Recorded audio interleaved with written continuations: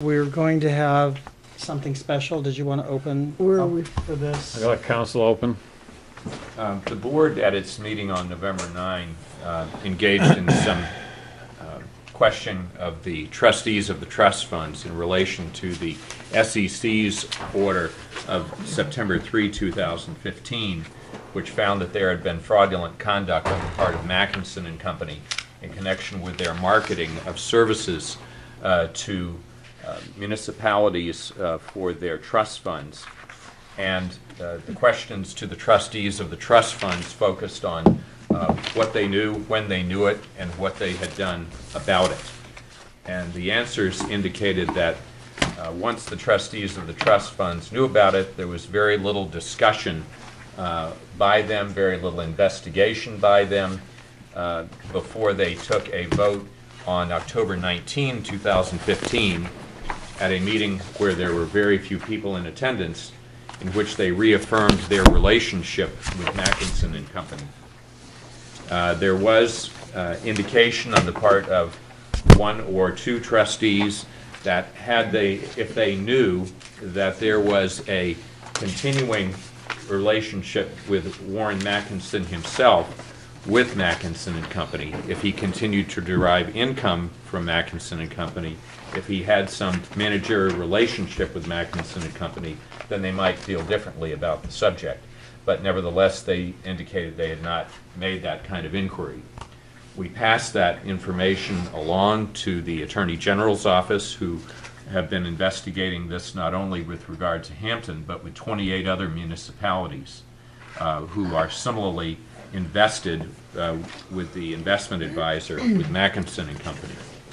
And uh, the uh, Charitable Trust Division uh, called Mr. Mays up to uh, Concord, uh, had questions of him, and answered certainly open questions that we still had after November 9th.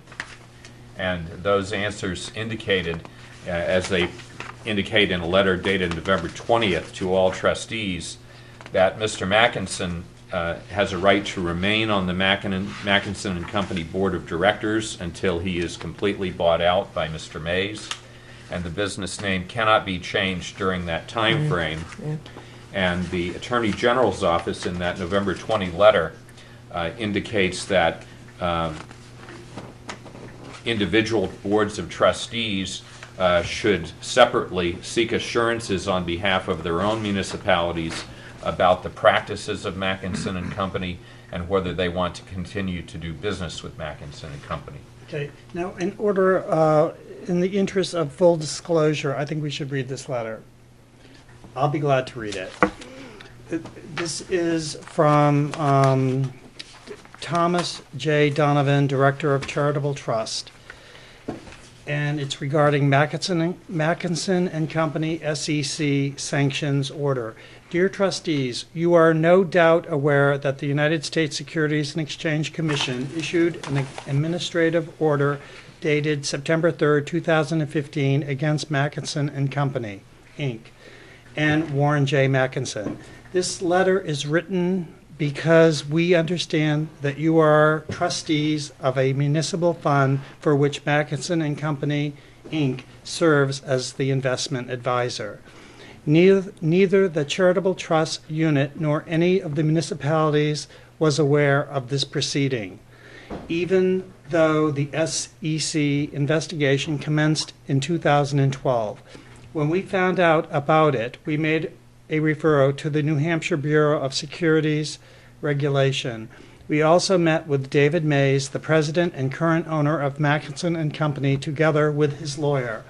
With respect to municipal trustees, our primary concern at the CTU is that the trustees follow their fiduciary duties and obey relevant New Hampshire statute, statutes. To that end, we offer seminars and written materials. If we believe that trustees are not complying with the statutory requirements or fiduciary duties that, with respect to investments, we will counsel and, if necessary, take action against those trustees. That said, we do not have the jurisdiction to pursue investment managers or investment companies that work with municipalities or with any other charitable trust. In light of the sanctions, trustees do have a fiduciary responsibility to review their investment relationship with Mackinson and Company. They should look at their returns and perhaps seek a meeting with Mr. Mays. They may also wish to consult with counsel concerning their options, which could include continuing their relationship with Mackinson and Company, changing investment advisors, and/or bringing legal action against the business. We have been concerned with the solvency and continued suitability of the investments that Mackinson and Company uses with municipalities. We asked those questions of Mr. Mays and his lawyer, and we were assured that the investments are placed in large mutual fund type products, not proprietary to Mackinson and Company. We were told that the funds are all solvent and could easily withstand withdrawals by any or all of the municipalities that have funds invested there. You should all, you should separate, separately seek those assurances on behalf of your own municipality, should you decide to continue to do business with Mackinson and Company. We have also been concerned with the nature of the violations outlined in the order, i.e., that Mackinson and Company and Mr. Mackinson misled municipalities in promotional material as to the past performance of Mackinson and Company portfolio. That is fraudulent conduct. Municipalities have relied upon those misrepresentations to engage Mackinson and Company.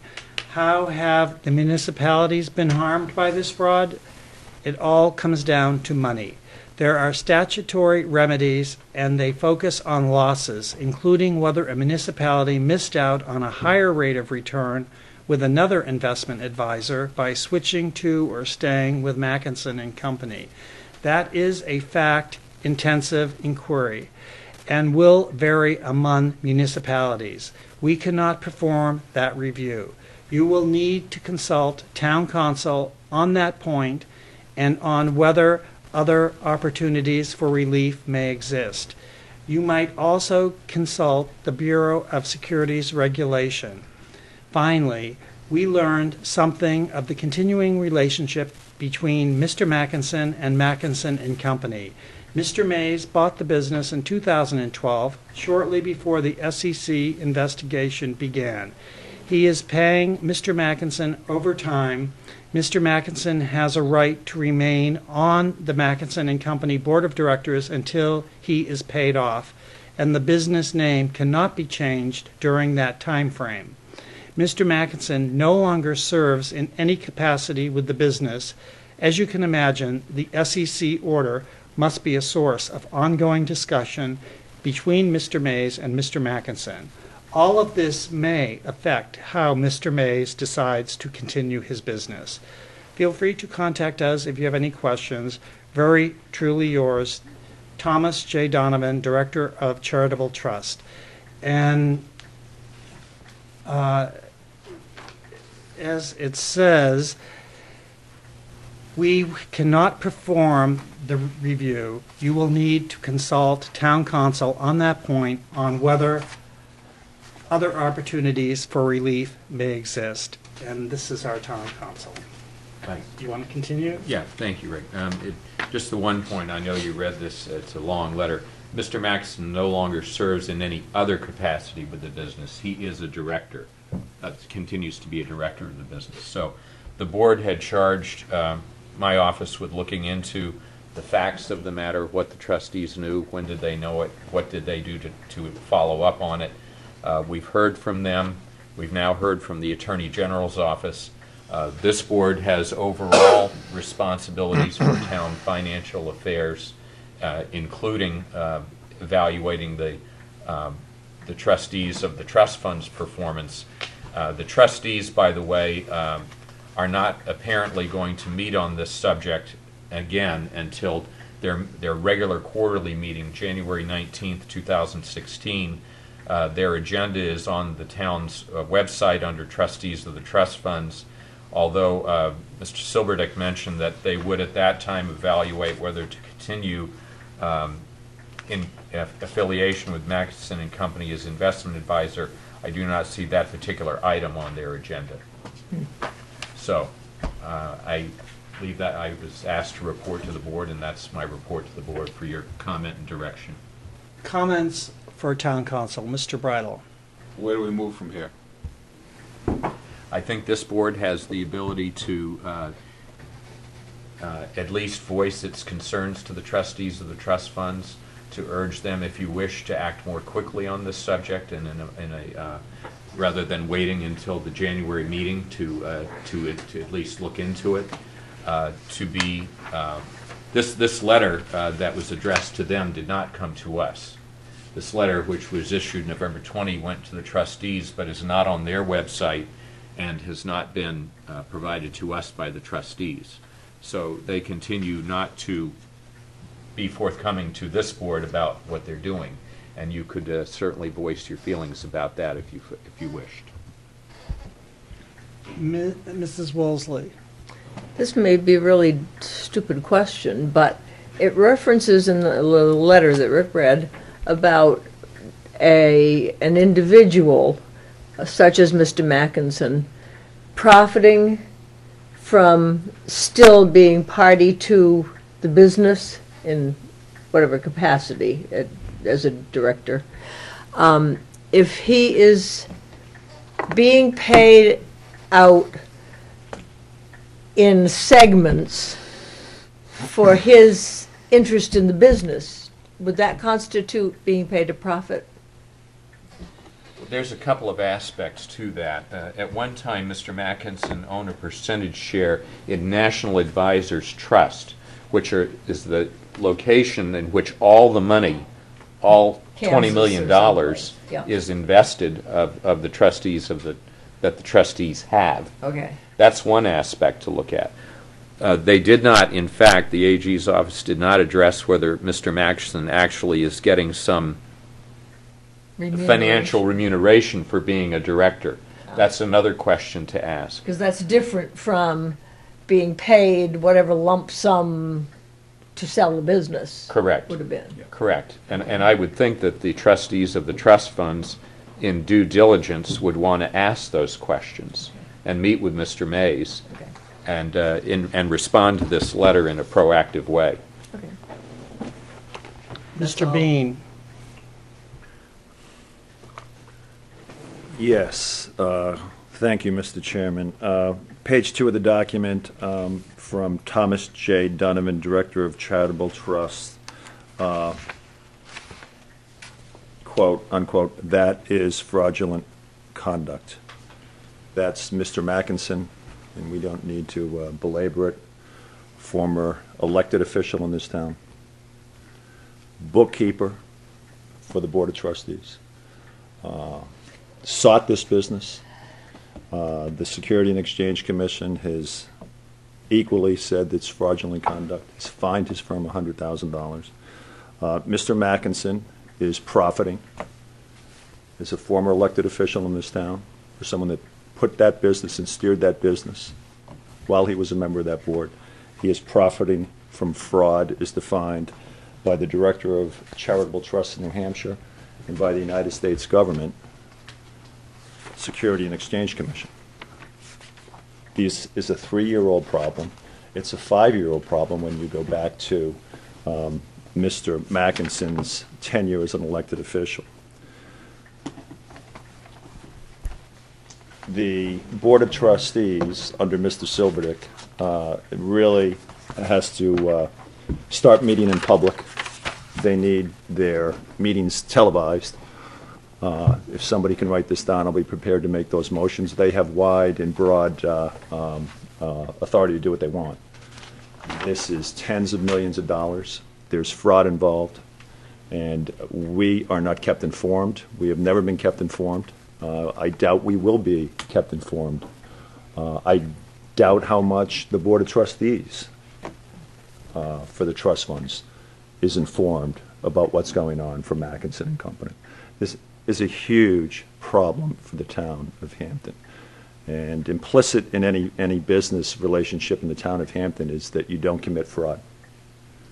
I would think that's a fairly low bar.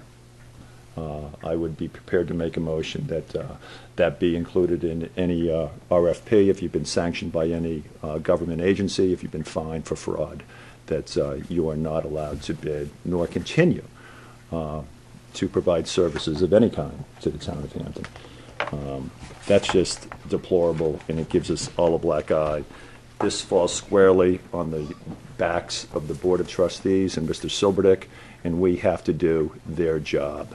The Security and Exchange Commission has to do their job.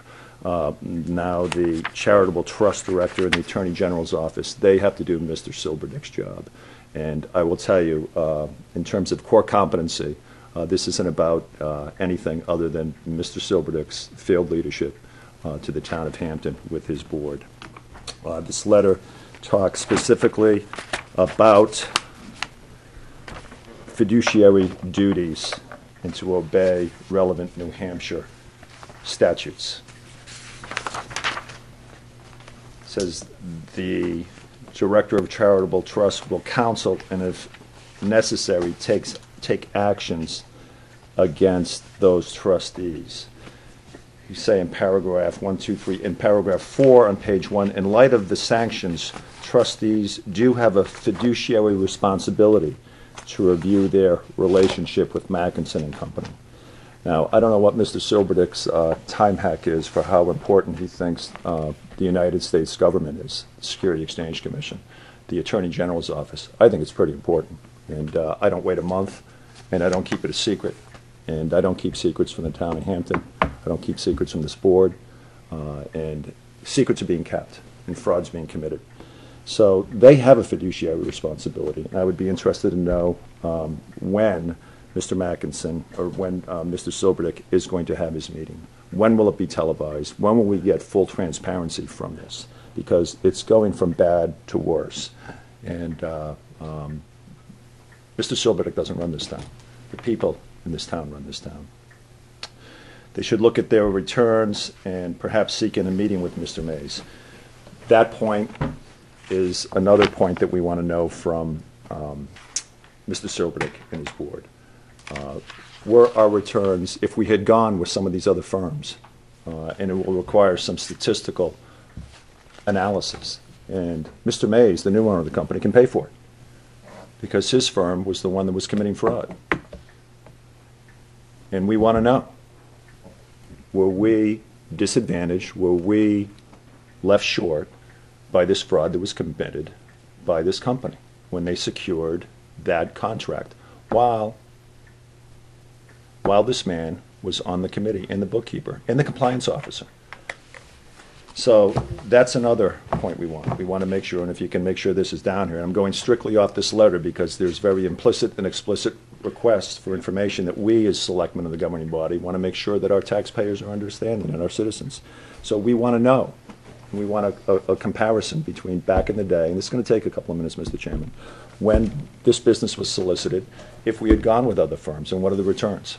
Because as we know, there was a loss this summer of several hundred thousand dollars. And I wonder if some of these other firms that came in here didn't lose several hundred thousand dollars. And then these continued returns were on top of money that Mackinson and Company didn't lose this summer. And we don't know the answer to that. They may also wish to consult with counsel concerning their options, which include conti- continuing their relationship with Mackinson and Company. We, we do want them to consult. And when, when he's talking about that, Esquire, is he talking about you? Yes. Okay, well, we would be interested in you meeting, I thi- and I think I can speak for the board on this issue, that we do want you to find out what the heck's going on, and why are we continuing with this quagmire? The answer to that particular question is by contract, we, the trustees of the trust funds may disengage with Maxon and Company with minimal notice. Yeah, well, I think if it's a lot of people at this table, it, that, that minimal notice would have been um, months ago. Again, on the second page, this, this fraudulent conduct, this is the Director of Charitable Trustees concerned with the nature of the violations that were ordered. You may also consult, and I would like us to do this, with the Bureau of Securities and Regulation. We're talking about this fact-intensive inquiry that comes down to money and will vary among municipalities. And the state cannot do this. Well, Mr. Mackinson needs to do this, and if so, we'll provide uh, um, your legal efforts to make sure that this firm does do that. Because they solicited the business, and we want to know. And if we were aggrieved, and if other firms that came in here didn't lose seven, six, seven hundred thousand dollars this summer, that's our money. That's our money, and that's a loss, and that's real money. And if other firms that came in here can demonstrate a portfolio that didn't lose money this summer, someone owes us six or seven hundred thousand dollars, whatever those losses were that were reported in the Hampton Union. Finally, um, Mr. Mackinson is, is again, he's being paid overtime. Town of Hampton, from which he steered from another vendor business to his firm, as an elected official, and I've been doing this a long time. And when I'm done, uh, when I'm 60, which is two and a half years, 41 years, I've never seen this. Never, never served the people doing this. Steered the business to himself. This is about 15% of the Mackinson Company's gross book. We are a significant, significant part of that book. And Mr. Mackinson, through his purchase contract, through his continuation as a board of director, and, and for those that don't know, a board of director runs a company. They can hire and fire chief executives. I don't know who else is a dir- director. Um, would be interested in knowing when he will um, not be a, a director. Um, and we would be interested to know exactly how much he's being paid. Because it is a government contract, and it's with a public entity. And we want to know how much Mr. Mackinson has made from this fraud, as stated by the New Hampshire Charitable Trust and the United States Government Security and Exchange Commission. So it goes on and on, and I'm going to wrap it up. And I said I wouldn't say anything more till I came back from Concord, but I think there's a bunch of stuff there, and you can maybe recapitulate what I just said. But um, uh, there's the, if you're doing business in town, we need to we need to do our, our RFP, and we need to do that immediately. And I don't expect you to do it tonight. But uh, if you're convicted or, or you're fined for fraud, and this this caliber of behavior happens, you're not doing business, at least on my watch, uh, in the town of Hampton not, not with $21 million. Uh, And there were, there were, there were several other things. If you can write those down and get back with the board, and this will be, again, an ongoing um, uh, challenge to the board. And uh, I I will say directly to Mr. Silverdick, uh, based on this shadow uh, and this, this dark cloaking of information from the public, his meetings need to be televised, his minutes need to be up to speed. He needs to be more forthcoming with the people of this town, or he needs to resign. And thank you very much, Mr. Chairman. Mr. Waddell. Mr. Bean covered everything, I think. But uh, my question is, the third, the fourth paragraph there, in light of the and sanctions, trustees do have a fiduciary, fiduciary responsibility to review their investment relationship with Mackinson and Company. And I think that's an important statement. I think when they were in here that night that we had the meeting, it was stated that Mr. Mackinson had nothing to do with the company anymore.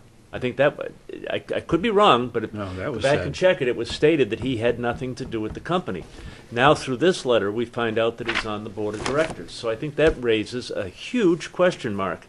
And in my mind, as I stated the last time, I just don't understand with this huge question mark why they just don't switch to a different firm. I mean, there are a lot of firms that do business that can give you the same investment return that they're getting with Mackinson and Company. I just think there are too many questions. And I, I agree that if, if somebody has been charged with fraud or a company has been charged with fraud, I don't think we should be doing business with that company. I think that's, it, it, I just, I don't understand, I don't understand why this letter wasn't made public by the Board of Trustees. If this letter was sent from the AG, from the Attorney General's office, why it wasn't made public. I mean, I had a lot of uh, trust in what they said that night when they were in here. I mean, they're elected officials, they're an elected board. I had a lot of trust what they said. But what they said is not what's said in the letter here.